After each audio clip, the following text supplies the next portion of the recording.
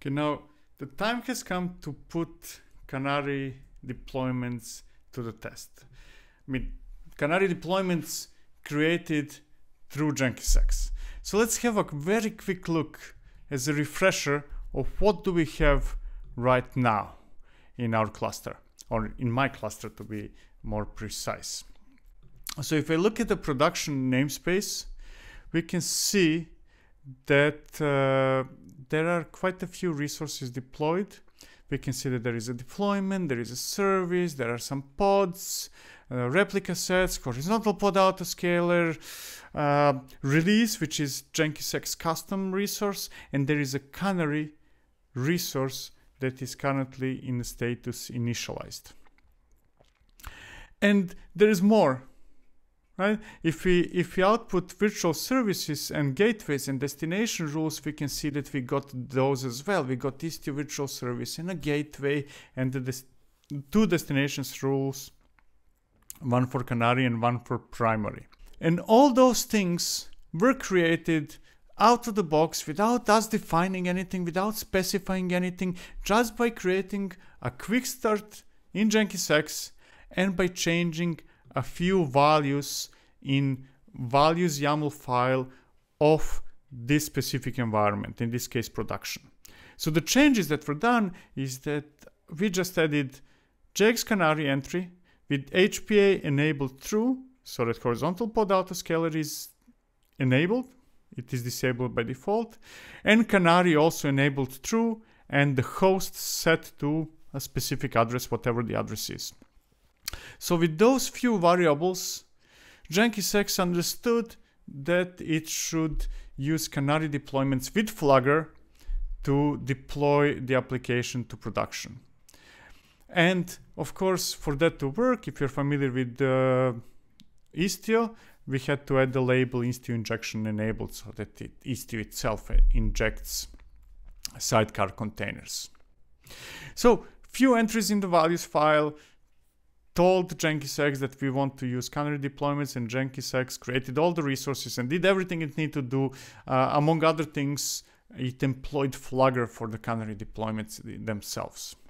Now that I'm in the repository of the production environment, I will go to the repository of the application itself and I will modify the source code so that the output is instead of HTTP example, it will say HTTP example with canary deployments. That will allow us to see the process of canary deployments in action. So we're, I'm, we're going to add those changes, commit them, and push them to GitHub and let JenkinsX capture that change and run a pipeline which will result in a deployment of the new release, in this case in production. So let's watch the activities of the Canary pipeline, uh, Canary, which is the name of the application itself. And we can see that uh, a new build is running. It is running. It will take a while until, until it is finished. I will probably speed up this part of the video so that you don't wait too much. And once all the statuses of the new build of the new activity are succeeded, I'm going to press Ctrl C to stop watching for the activities. And I'm going to also double check whether the staging activity behind the staging environment is finished. Because what JenkinsX does is whenever we push something to the repository of the application itself, it automatically deploys the new release to some environments, in this case to staging, but what we really want to do is promote it to production. But before we promote it to production, I'm going to wait until it is running in staging so that we can get the version number. So we are watching for the activities in the staging environment. And once they're finished, I'm going to press Control C and stop watching it. And then let's see, is our new release running in staging? We can do that by sending a request and it is. The output is something something with canary deployment. Now let's take a look at the canaries, canary resource in staging, and there is none because we are not employing canaries in staging. We want canaries only in production. Okay, so what is running in, in our cluster right now? We can see from JX get applications that we have JX Canary application, release 003 running in staging, and release 001 in my case, in your case it might be different, running in production. You can see that by production and staging columns. So we want to promote the release from staging, release 003, to production. And we want to the deployment behind that promotion to be canary. So let's uh, export the version. In my case, it's 003. In your case, whatever the version is, is staging.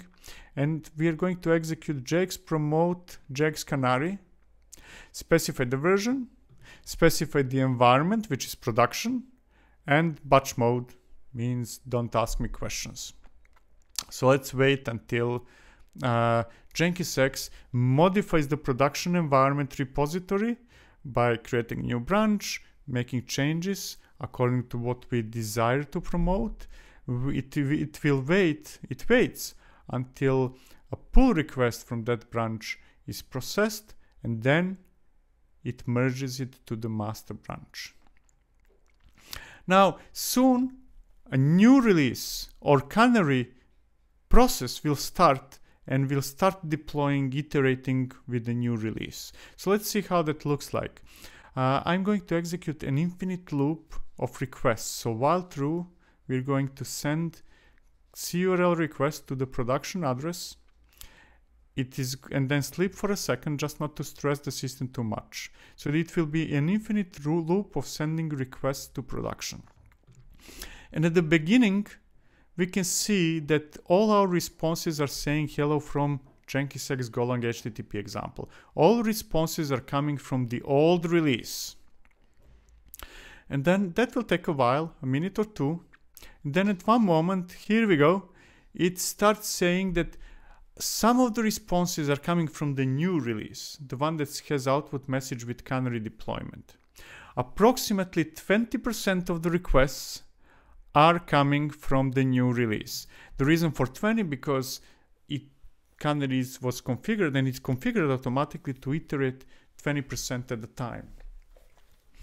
And then right now Flagger is evaluating metrics and checking whether there is there, there is exaggerated number of errors or slow responses or whatever the metrics are and if everything goes fine and if it continues meeting the requirements canary deployments flagger will keep increasing the percentage of requests going to the new release and decreasing the percentage of the requests going to the old release. And I will speed this up because it will take a couple of minutes until it uh, finishes the whole process, but we can see that as the time progresses, more and more requests are coming from the new release and less and less are coming from the old release. And the reason for that is simply because there is a constant evaluation of the metrics, and since metrics are returning positive results, Flagger is continuously increasing the reach of the new release until all the requests are coming from that new release. And now we can see that all the requests are from the new release. So the process finished or is finishing and uh, from now on, all uh, our users, all the requests, all traffic is going to the new release and the old release is, is gone. So let's cancel this loop with Control C and retrieve the applications in the production environment.